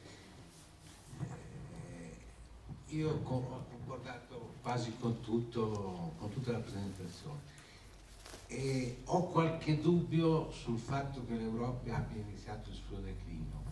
E mi spiego meglio, cioè la scienza in, in fondo è figlia della cultura, è indubbio, e della cultura e della storia. E penso che oggi l'Europa, anche potenzialmente, sia ancora leader in questi settori. Grazie. Qui in terza fila c'è una domanda. No, io volevo appunto eh, agganciarmi all'ultima eh, considerazione. Eh, eh partendo dal 600 sono state tre le cose che hanno permesso la grande innovazione del 600, la stampa, e eh, eh, nuova metodologia di fare la guerra, polvere da sparo, perché sono tre le cose che fa l'umanità, a spasso, comunica e, e, e, e, fa la guerra. Oggi ci sono le stesse tre cose, la bomba atomica, l'aereo a reazione e internet, che sostituiscono quei vecchi mezzi. Quindi sicuramente ci troviamo di fronte a qualcosa di assolutamente nuovo che non abbiamo ancora capito. Da un altro lato l'Europa è piccola, l'Europa non esiste più, esiste il mondo, esiste la civiltà globale, siamo inseriti in un contesto globale dove parlare di Europa forse può essere troppo limitativo, no? perché siamo Europa, America, succede qualcosa in poi eh, eh ulteriore considerazione. Eh, Einstein è stato l'ultimo fisico che ha fatto una teoria. Eh, le, eh, le, teorie precedenti, quelle del 600, 700, 800, 900, no? ci, ci fermiamo a Einstein, erano teorie del singolo uomo. Oggi le teorie sono fatte da un'equipe. Quindi forse non è più necessarie le stesse caratteristiche che c'erano bisogno in certe persone. Oggi forse si ricerca nella persona più collaborazione, eh, tutte le teorie vengono nell'equipe e quindi eh, eh, forse noi che abbiamo un certo tessuto culturale che è legato a Newton, Galileo, alla persona Einstein che tira fuori noi Europa America che eh, abbiamo questo tessuto culturale, siamo spiazzati di fronte a un hardware, un'organizzazione che tira fuori le. Già meccanica quantistica è venuta fuori da un pool di persone, c'è l'Oriente che sta tirando fuori un sacco di innovazioni e, e, e questo penso che sia una, una grande ragione. Grazie. Grazie a lei.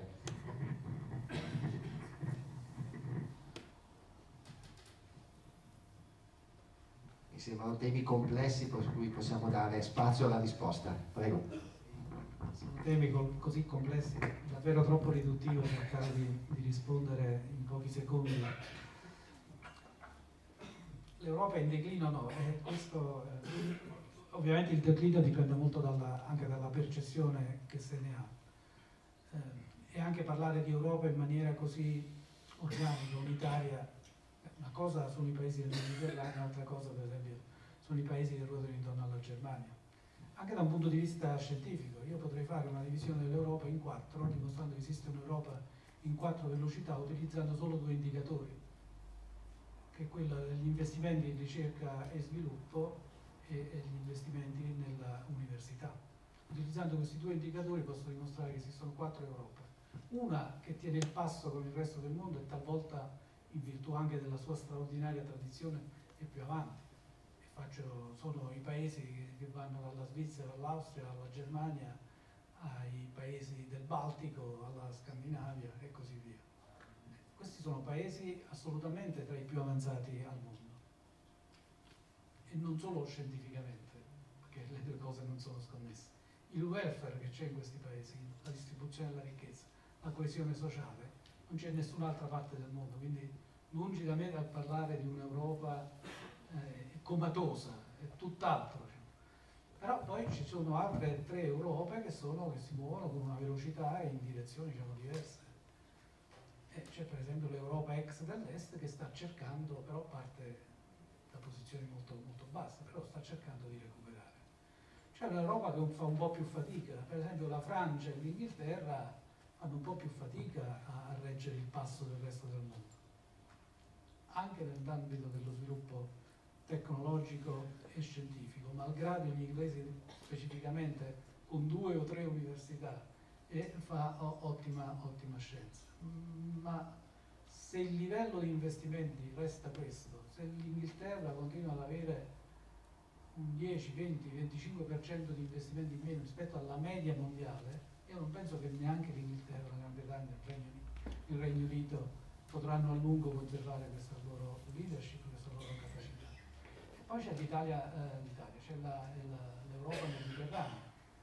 Voi vedete tutti i paesi del Mediterraneo, Portogallo, Spagna, Italia, Grecia, poi ci sono i minori, sono tutti paesi che investono non più dell'1% in, in ricerca e sviluppo, che sono la metà della media mondiale, eh, un terzo rispetto alla Germania e agli altri, agli altri paesi. Eh, non a caso sono i paesi che sono in crisi.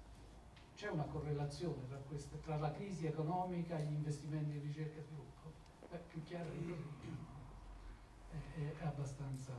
Quindi non è l'Europa in tutto questo declino, è un declino relativo che oggi forse è meno drammatico e certamente meno tragico di quello degli anni 30, però certamente l'Europa entrò in crisi tra il 15 e il 39. Due guerre mondiali scatenate dall'Europa, se non, se non, è questo segno di una profonda crisi. E quindi e che cos'era quella crisi se non una crisi di rapporto con la, la modernità? E quindi quella crisi è stata recuperata grazie anche alla, alla, alla capacità di, di ricominciare a pensarsi come continente e abbiamo ricominciato a pensarci come continente, non a caso realizzando una prima cosa insieme. Cos'è la prima cosa insieme che abbiamo fatto? È stato il CERN di Ginevra. Il CERN di Ginevra è il primo atto, la prima manifestazione di un'azione comune dei paesi, dei paesi europei. Faccio un altro inciso, le domande sono stimolanti nel 1915, mentre Einstein, proprio cento anni fa, stava elaborando la teoria della relatività generale, pochi mesi prima aveva lanciato in piena guerra, con il rischio di essere anche arrestato, un appello agli europei per dire smettiamo di fare la guerra e costruiamo gli Stati Uniti d'Europa. Ha preceduto di 30 anni il manifesto di Ventotene ancora una volta gli scienziati sono stati i promotori di un'idea anche politica, di un'idea di società, di un'idea di costruzione di un'Europa e del mondo eh, in, in, fatta in un certo modo, che è un modo in cui dire, lo sviluppo economico significa anche progresso civile e, e sociale. E quindi questo è il declino. E, e poi l'altra domanda difficilissima come faremo scienza nel prossimo futuro, eh, diceva, diceva Bor, appunto uno di quelli che lavoravano più in gruppo, ma insomma era anche un leader, eh, che eh, le previsioni sono sempre difficili, ma sono difficili soprattutto quello che riguardano il futuro. Cioè, quindi, quindi è impossibile dire come sarà la fisica del futuro. Nascerà un nuovo Einstein che inventerà per esempio, eh, riconcilierà la relatività generale con la meccanica quantistica? Alcuni aspettano questo nuovo Einstein, invece alcuni dicono no, beh, saranno, sarà frutto di un lavoro di gruppo. Ci sono scienze in cui, penso alle scienze biomediche in generale, diciamo, in cui probabilmente il lavoro di gruppo è più importante, più, e in cui la teoria, se noi immaginiamo per teoria quella che poi può essere ridotta in una formula matematica, allora sono scienze che non hanno questa, questa, questa proiezione così marcata. E quindi è difficile avere, però anche nell'ambito delle scienze biologiche Darwin è stato un singolo ma un singolo mai isolato, non è che Einstein fosse isolato, non è che Newton fosse isolato, non è che Galileo fosse isolato, sono stati al top di un movimento che caratterizzava l'intero loro tempo. Oggi però abbiamo diversamente rispetto al passato, e questa è una novità che si produce in diverse scienze, dalla fisica per certi versi la stessa matematica, alla biologia, alla medicina, alle neuroscienze, è quello della big science, cioè di grandi progetti scientifici dove lavorano centinaia, a volte migliaia di scienziati in maniera cooperativa. Questa è una, penso che sia un'unità assoluta, anche perché amo molto diciamo, il periodo ellenistico, bene, anche questo gli ellenisti non, non ce l'avevano, questo modo eh, di, di, lavorare, non con questi numeri eh, almeno. E quindi certamente che cosa produrrà la Big Science? Io mh, mm, non lo so cosa produrrà in termini di nuova teoria scientifica. Eh, vedremo, insomma, mi, mi vivrà vita. Grazie, vediamo se c'è un'ultima domanda prima di chiudere questa bella prima serata. In fondo.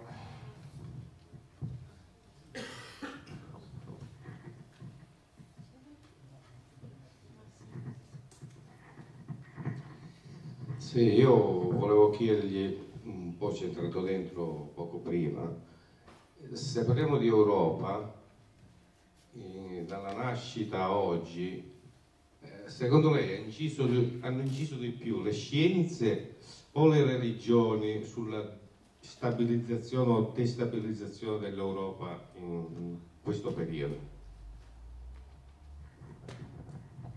Fanno domande semplici, eh? non le invidio. Un attimo c'è l'ultima domanda. Quando... Prego un'altra domanda semplice. Ecco. Ma la scienza è libera?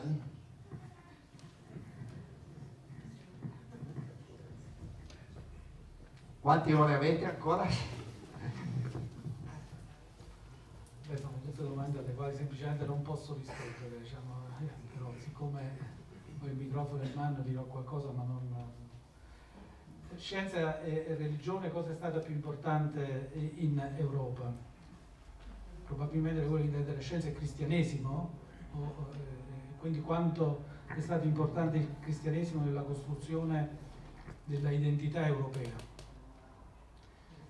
Allora azzardo, ripeto, diciamo, però eh, posso dire eh, delle cose non... Faccio una constatazione, il cristianesimo eh, esisteva in Europa già appunto sostanzialmente alla nascita di Cristo, diciamo, quindi 1200 anni prima di Fibonacci, diciamo, no? E almeno dal 400 d.C. è stata una religione importante fino a diventare la religione dominante. Certamente ha rappresentato un collante straordinariamente importante, però non si identifica completamente con l'Europa, se accettiamo l'idea, anche questa contestabilissima, che l'Europa nasca nel XII-XIII secolo. Certo, l'Europa non può fare a meno del cristianesimo, nel senso che ne fa parte della sua storia, ma non è stata una condizione sufficiente per la nascita dell'Europa. Sarà stato anche un caso, ma da quando l'Europa ha scoperto la scienza ha scoperto anche se stessa, ma non perché ci sia una relazione particolare, tra, non perché la scienza sia europea, la scienza è una cultura universale per definizione, diciamo ma perché appunto ha rappresentato un forte collante culturale. Un collante culturale che ha, come dire, cambiato anche il cristianesimo, i grandi dottori della Chiesa, parte Agostino, diciamo, ma Alberto Magno, ne abbiamo citato alcuni, Magno, Tommaso d'Aquino, eccetera, eccetera, nascono proprio confrontandosi con questa straordinaria novità. Quindi diciamo, io penso che la scienza abbia contribuito anche a far riflettere su se stesso lo stesso cristianesimo. Dopodiché il cristianesimo, come voi sapete, è stato anche occasione di, di, di divisione in Europa, no? Insomma, ci sono state divisioni tra, tra, cattolici e protestanti, ci sono state anche delle, delle guerre. Beh, la cosa straordinaria è che mentre succedevano queste guerre, anche di religione, mentre l'Europa era attraversata dalla guerra dei trent'anni, c'era una comunità la comunità scientifica nascente europea, quella della rivoluzione scientifica, quella per cui Paolo Rossi diceva che non c'è un luogo dove è nata la scienza perché quel luogo è l'Europa, che formava una comunità che si parlava, che si autoriconosceva, che aveva gli stessi valori. Questo succedeva mentre il resto dell'Europa si scannava, nel senso letterale eh, del termine. E quindi io penso che la scienza abbia avuto una, una, una forza, la forza sia stato un collante eh, importante, non, non l'unico, secondo me anche il più importante, però insomma si può anche discutere, però certamente un collante importante, eh, estremamente eh, in, importante. E poi sulla libertà eh, degli scienziati, io la libertà anche qui bisogna definire che, cosa, cos'è la libertà. Però diciamo che in genere io non conosco eh, persone più libere, tendenzialmente, mediamente, statisticamente, eh, degli scienziati. Eh, difficilmente uno scienziato come dire, rinuncia alla propria libertà di ricerca, alla propria libertà di pensiero, rinuncia ad affermare la propria libertà. Di più, penso che la scienza abbia bisogno della libertà, cioè di poter, abbia bisogno che degli uomini possano agire liberamente. Poi si può discutere se questa libertà se essere una libertà totale, ovvero un regime, la scienza vive solo in un regime democratico, potrebbe essere una libertà locale. Lo faccio un esempio, i fisici dell'Unione Sovietica a cavallo tra gli anni 30 e gli anni 50 eh, eh, contrattarono questa loro libertà con il potere, a differenza di quello che fecero i biologi, per cui si impose tale Lysenko. No? I fisici invece la contrattarono con il potere. Tu ci lasci la libertà di studiare per esempio la meccanica quantistica che non era particolarmente ben vista da molti settori del Partito Comunista dell'Unione Sovietica, tu ci lasci la libertà di studiare Einstein, di andare oltre Einstein, di andare oltre la meccanica quantistica e noi lavoriamo anche per il paese, lavoriamo anche per la bomba, c'era qualcuno che diceva la, la, la, il militare è un, fattore di innovazione, è stato importante, purtroppo è vero, il militare è stato un fattore di innovazione però io penso che raramente, eh, davvero, cioè, statisticamente gli scienziati eh, sono le persone tra le eh, più libere. E tra i valori che hanno caratterizzato la scienza ci sono proprio dei valori, così come li ha definiti per esempio un sociologo Robert Merton, ci sono valori di libertà che sono comunitarismo, cioè la, cos'è il comunitarismo? Io metto a disposizione di tutti le conoscenze che ha acquisito. Questo è un esempio di libertà straordinario. L'universalismo, lo dice la parola stessa, significa libertà, diciamo, ovviamente, oltre che eh, condivisione, il disinteresse, quindi la libertà da fattori altri contingenti, eh, l'originalità e soprattutto lo scetticismo sistematico. Lo scetticismo sistematico non è altro che l'applicazione del concetto di libertà di pensiero, di onestà intellettuale, l'essere critico verso tutti e verso tutti, e non accettare nulla sulla base dell'autorità, ma soltanto dopo una verifica ed un libero convincimento, che questa è la scienza. È un, come diceva John Zeman, un altro sociologo della scienza in realtà un fisico teorico, la scienza non è altro che un consenso razionale di opinione nei più disparati campi possibili, un consenso razionale di opinione, che ovviamente si fonda sulla libertà. Quindi la scienza è intrinsecamente libera e quegli scienziati che rinunciano alla propria libertà sanno di violare uno dei valori fondanti della scienza, sanno di violare lo spirito primo della scienza. Grazie, con queste splendide parole Ringraziamo Pietro Greco, gli auguriamo eh, di continuare questa sua attività che ormai da tantissimi anni è uno dei decani del giornalismo scientifico porta in Italia, domani sarà a Genova. Mentre noi ci diamo appuntamento venerdì prossimo, 6 novembre, con Telmo Pievani, ha già fatto un po' di spot eh, greco, che ci parlerà della nascita di Homo sapiens, quando siamo nati noi. Ringrazio tutti, ringrazio ancora Elena Cattaneo e tutti i presenti, ricordo che potete ritirare le bibliografie e che c'è un banchetto di vendita in fondo e ci vediamo venerdì prossimo. Grazie mille.